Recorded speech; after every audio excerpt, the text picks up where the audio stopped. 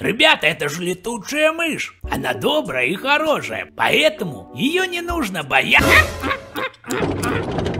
А ну стоять, это мышь! Слушай, мышь, я кот, а ты знаешь, что коты делают с мышами? Тьфу, все равно невкусный. Они пушистые и мягенькие, поэтому они очень прекрасные создания. Во хозяина контузила.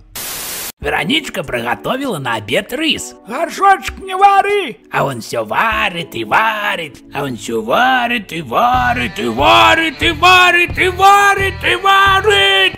Я ж сказала через пять минут выключить. Ну кто тут самый голодный? Э, Мурзик, Что?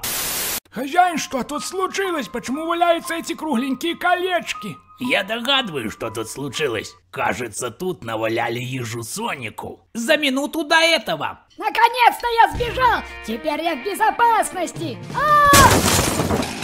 Мурзик, ты что-нибудь слышал? Кроме твоей пилы ничего не слышно.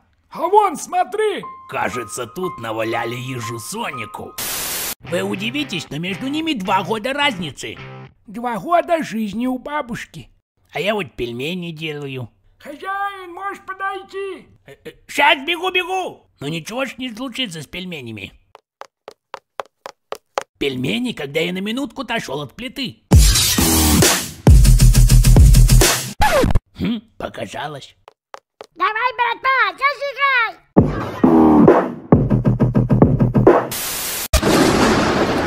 Ничего, что я без костюма.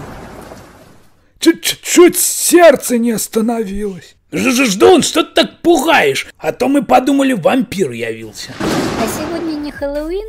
Нет, сегодня не Хэллоуин. И, опа, Ой. тогда я тут посижу, суп поем. Ваш шарик зовет, сфотографироваться хочет. Мурзик, наконец-то фотографы понадобились. Пошли. А у вас соль есть? Есть, но только она немного нервная. Хозяин, оказывается, шарик соседнего двора Терминатор. Да ну!